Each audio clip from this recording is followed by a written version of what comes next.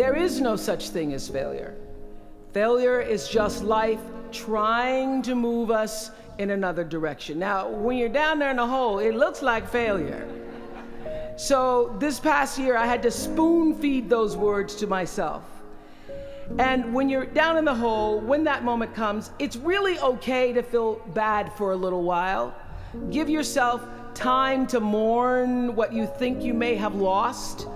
But then, here's the key learn from every mistake because every experience, encounter, and particularly your mistakes are there to teach you and force you into being more of who you are. And then figure out what is the next right move. And the key to life is to develop an internal, moral, emotional GPS that can tell you which way to go. The challenge of life, I have found, is to build a resume that doesn't simply tell a story about what you want to be, but it's a story about who you want to be. It's a resume that doesn't just tell a story about what you want to accomplish, but why. A story that's not just a collection of titles and, and positions, but a story that's really about your purpose. Because when you inevitably stumble and find yourself stuck in a hole, that is the story that will get you out. What is your true calling? What is your dharma?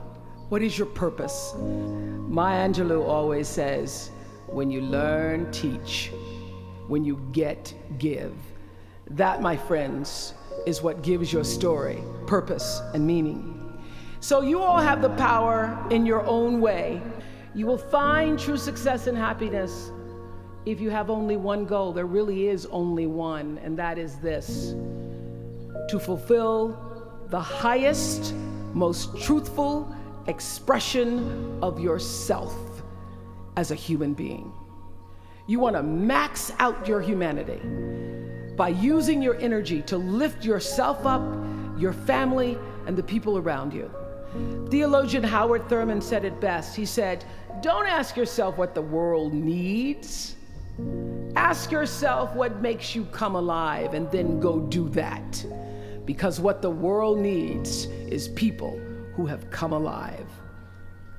Time to time, you may stumble, fall. You will for sure count on this. No doubt. You will have questions and you will have doubts about your path.